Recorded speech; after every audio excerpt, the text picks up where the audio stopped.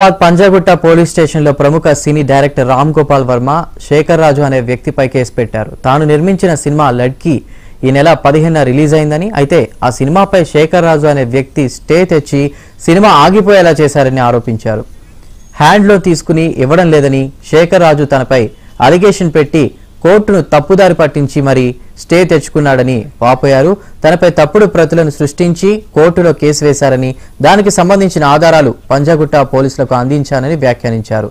Cinema ఆపడం అనేది bad thing అని ఇలాంటివి మరోసారి పునరావృతం అవ్వొద్దని పిఎస్లో కేసు పెట్టానన్నారు.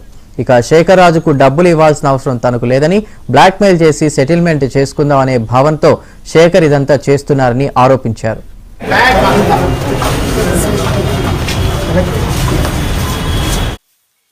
శేఖర్ రాజుకి డబ్బులు ఇవ్వాల్సిన అవసరం మెయిన్ పాయింట్ ఇప్పుడు ఏంటంటే అది ఏ సందర్భంలో డబ్బులు తీసుకున్నా అది ఆ డీటెయిల్ అనేది నేను ఇక్కడ చెప్పలేను. అదంతా అది కోర్టులో జరుగుతుంది.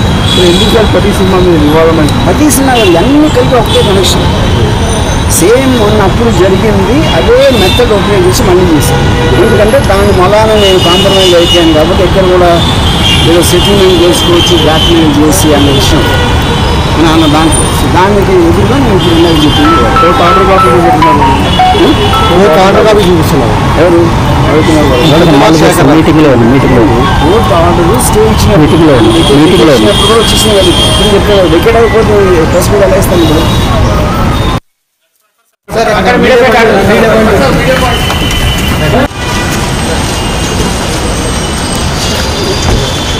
కొన్ని కొన్ని కొన్ని మీరు జరిగాను